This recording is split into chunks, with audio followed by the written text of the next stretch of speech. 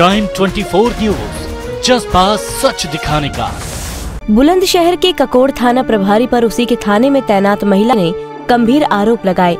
महिला पुलिसकर्मी का आरोप है कि आरोपी कोतवाल उसके फ़ोन पर आपत्तिजनक मैसेज करता है। आरोप यहाँ तक है कि आरोपी कोतवाल पीड़िता को किसी न किसी बहाने अपने रूम में बुलाना चाहता है, जिस सबसे तंग आकर पीड़िता ने चैटिंग के स्क्रीनशॉट के प्रिंट आउट और अपने बयान का वीडियो सोशल मीडिया पर वायरल कर दिया। थाना ककोड़ में दो वर्ष से तैनात हूँ। अभी कुछ दिन पहले हमारे थाने में एसएचओ दुर्गेश मिश्रा की पोस्टिंग हुई। उन्होंने मुझे और दरोगा सिंह दरोगा लोकेंद्र सिंह और हेड कांस्टेबल जुनेद को एंटी रोमियो पर पोस्ट पोस्टिंग किया। फिर मैं अपने पर्सनल नंबर से उस पर मैसेज भेजा करती थी तो उन्होंने मेरा नंबर फ़ीड कर लिया और अपने पर्सनल नंबर से मुझे मैसेज करने लगे उल्टे सीधे। और मैसेज कर, करते थे तो मैंने इस चीज़ का उनका विरोध किया। वो मेरा रिलेशनशिप स्टेटस पूछते थे मुझसे और रूम पे आने के लिए बोलते थे मुझसे, चाय वगैरह के लिए इनवाइट करने के लिए कहते थे। और बहुत उल्टे सीधा बोलते थे मुझे कि मेरे इमोशंस वगैरह तुमने बर्न कर दिए, तुमने नो क्यों बोल दिया?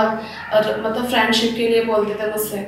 तो जब मैं नंबर ब्लॉक कर दी थी तो वो मुझे फ़ोन करके धमकाते थे। कहते, मेरा नंबर अनब्लॉक कैसे किया? तो फिर कहते थे नंबर अनब्लॉक करो धमका देते मुझे। उल्टी सीधी धमकियाँ देते थे। उन्होंने बहुत बार उल्टी सीधी बातें की डबल मीनिंग बात करते थे। मुझसे बोलते थे कि अगर तैयारी करनी है पीसीएस की तो अ, मेरे रूम पे आ जाओ मैं तुम्हें तैयारी कराता हूँ। और बहाने से कई बार उन्होंने मुझे अपनी गाड़ी बिठाने की कोशिश की प्राइवेट ड्रेस में। कहते थे कि मतलब मैं तुझे पिक करने के लिए आ रहा हूँ। और अभी कुछ दिन पहले अभी कुछ दिन पहले जो है अरंगपाल मुंशी और इन दोनों ने मिलकर मेरे साथ मुझ पर झूठा इल्ज़ाम लगाया। जो है, तस्करा गेरा मेरा फर्जी और मुझे मानसिक रूप से प्रताड़ित करते थे।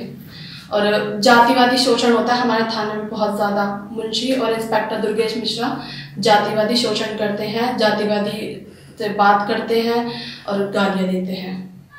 वायरल वीडियो में पीड़ित महिला पुलिसकर्मी ने बताया कि आरोपी कोतवाल पीड़ित से मैसेज में डबल मीनिंग में बात करता था। जबकि किसी न किसी बहाने पीड़िता को अपने रूम में बुलाने की कोशिश करता था। इतना ही नहीं, पीड़िता ने कोतवाल के अलावा थाने में तैनात मुंशी पर भी जातिवाद करने और मानसिक शोषण करने का आरोप लगाया है। पीड़िता के बयान का ये वीडियो सोशल मीडिया पर जमकर वायरल हो रहा है। एक वीडियो कुछ देर पहले अभी हमको प्राप्त हुआ है, लगभग एक घंटे पहले। और उसमें एक महिला आरक्षी है जो थाना ककोल पे तैनात है। महिला आरक्षी का कहना है कि उसके साथ इंस्पेक्टर ककोल चैटिंग करते थे और आपत्तिजनक तरीके से उसके साथ पेश आ रहे थे। उसने उन्हें ब्लॉक कर दिया। इस तरह के आरोप महिला के द्वारा लगाए गए हैं। मैंने तत्काल ही उसकी जाँच एडिशनल एसपी देहात को सौंपी है और 12 घंटे में उनसे आख्या मांगी है, जो जाँच के लिए जा भी चुके हैं। इस प्रकरण में जाँच के बाद जो भी तथ्य मिलते हैं तदनुसार कार्रवाई सुनिश्चित की जाएगी। वहीं मामला संज्ञान में आने पर बुलंदशहर एसएसपी संतोष कुमार सिंह ने आरोपी इंस्पेक्टर के खिलाफ एसपी देहात को जाँच सौंपते हुए पूरे मामले में 24 घंटे में आख्या मांगी है। Editor in chief Iqbal Saifi के साथ हामिद सैफी, टाइम 24 न्यूज़। हमारे चैनल को सब्सक्राइब करें और हाँ बेल आइकन दबाना बिल्कुल न भूलें।